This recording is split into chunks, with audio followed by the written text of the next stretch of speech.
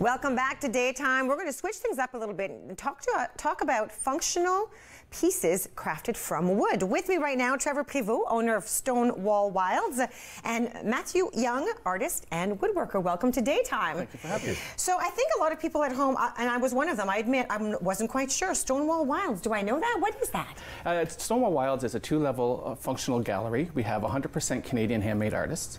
Um, right now, we're, we're transitioning the the space. We're bringing in more wood products. Larger pieces are going in our lower level, bringing in more fine art, more pottery, more glass, and more stuff like that. And so when you say Canadian, all across the country? Uh, it is across the country, but a majority, if not almost all of them, are from the Ottawa area. Even better. I like I like promoting extra extra local. Let's do that. Okay, we got to talk about the bow tie because as I'm talking to him, like that's a wood bow tie. This is a wooden bow tie. It's from one of our newest artists. Um, it's uh, Justin Richardson does these. So much fun. I see there's a couple extra on the table there. Yeah. That's he does these ones, and then we have another artist who does uh, some other ones with the pocket square. Very beautiful. All right, so now let's talk about you. Sure. So you are part of the of the artists, if I can say that, that you, or things that we can see in the gallery, and you make tables. Is that Yes, right? I do. How do you, did you get started? Like, when did you decide? You know what? I'm really good at this. I'm just going to build a table.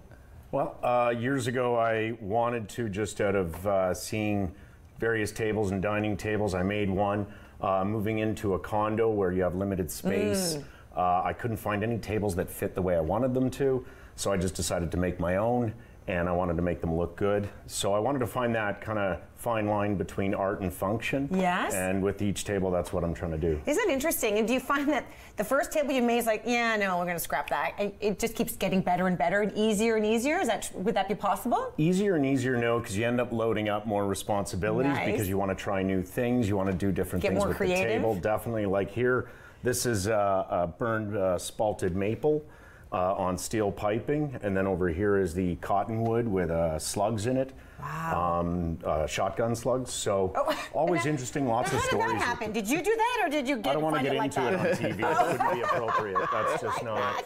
No, uh, but yeah, the family cot- show. Right? That's what we're talking Let's keep it family. Let's keep it family. That's really interesting. Very, very beautiful. Yeah, and I like that. The, the interesting part is not just that it's wood and interesting wood because it's it's not flat, Sure. but the pieces underneath are really interesting in- as well. Yeah. It's, you know, it's not that you have wood legs; you've got piping Right. It's steel piping, which is actually, uh, I really try to use that a lot because A, I do like the cross function of wood and steel together. Also because it's malleable. I can make these legs in any sizes as well as um, you can level them regardless of the floor. So Sounds really great. good. Yeah, now we're talking about functionality, Mm-hmm. functional pieces, meaning things that we can use. I think a lot of people appreciate that, as opposed to just having something that looks pretty. We want to be able to use it too. Absolutely, and that's what we try to do with the gallery. We try to have functional pieces that people can take home and they can use, mugs and stuff like that. And the same with the bowls and the serving boards.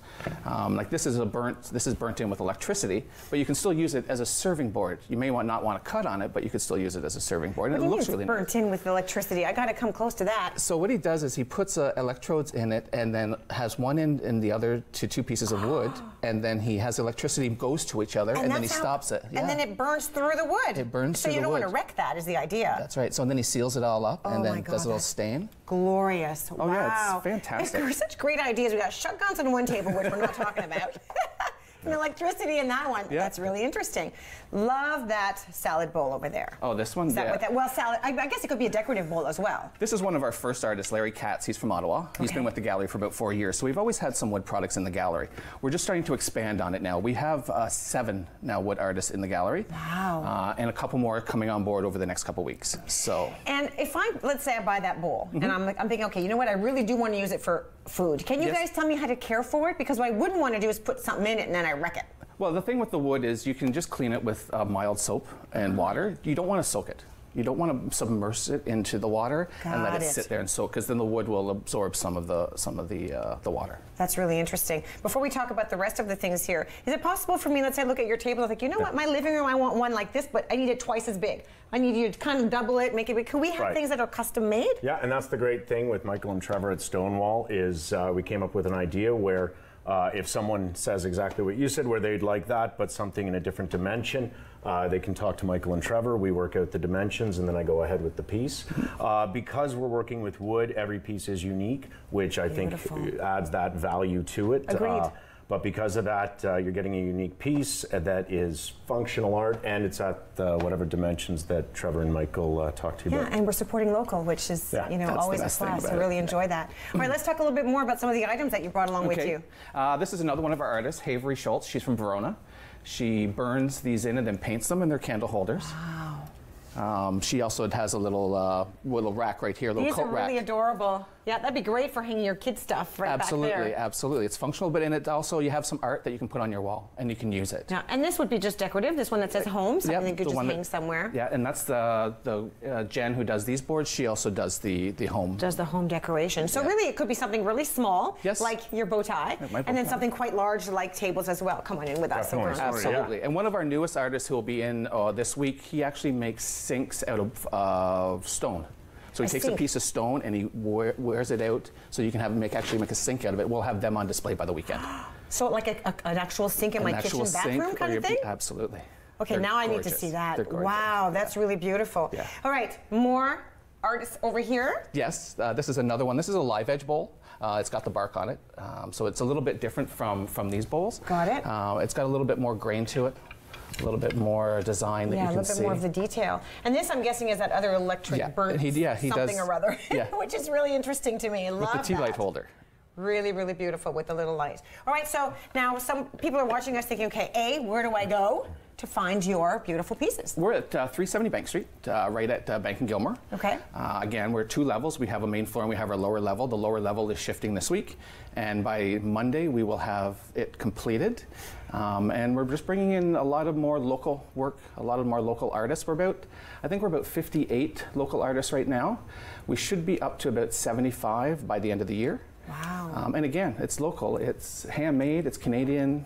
I mean, I also like that if you are buying a larger piece that's a little bit more expensive, you do offer sort of a payment plan that helps people out, right? Because sometimes you fall in love with something and you just got to have it. With all our fine art and all of our wood pieces over $500, we offer a three-month no-interest payment plan.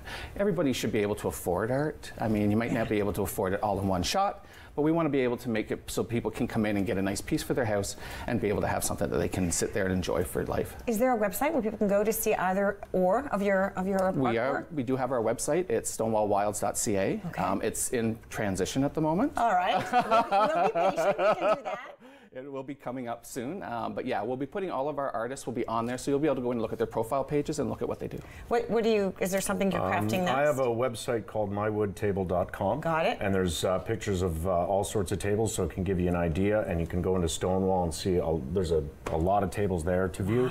And then you can talk to Trevor or Michael if uh, you'd like something along those lines for sure. Very good. Very, very beautiful. Thank you so much for you. sharing your crafts Thanks, and the idea of visiting a really great gallery that's located in our city that has a whole lot of local artists. All right, it's time now to take a break, and when we come back, we're going to talk about adventures. You're going to want to stay with us. You're watching Daytime on Rogers TV.